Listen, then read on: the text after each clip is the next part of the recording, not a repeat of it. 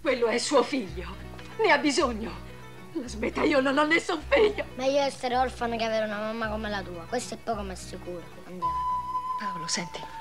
È inutile perdere altro tempo. Perché inutile? Avevo bisogno di riflettere. Perché è meglio che ti sposi con Filippo. Con me il discorso è chiuso. Lo vuoi capire che ho appena perso un figlio? Chi era quel bambino? È un bambino Down. Tu non sei più innamorata di me, ma ti piace continuare a giocare con i sentimenti e non vuoi metterti in testa che non sei più una bambina. Io ti amo. Non so come fare.